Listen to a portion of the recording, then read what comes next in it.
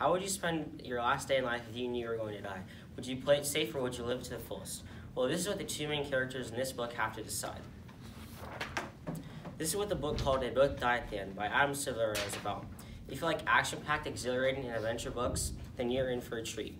It's all about choosing to live life to the fullest, just like what Mateo and Rufus have to decide. In a large city of New York, the options are endless on how they could either spend the day or how they could die in the day. What makes this book so unique is that it has other people in the book that are irrelevant at the time, and towards the end, you get to see how they made an impact on Mateo, and Rufus. This isn't a very believable story because in real life, Deathcast doesn't call people and tell them that they're going to die, that they're dying today. That is just absurd. But the good thing is that just because the story isn't believable, that doesn't make it a bad book. It is still action-packed and full of exciting moments.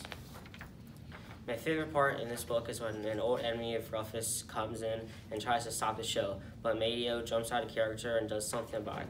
If you like books that are mysterious and also exciting, you should definitely read this book.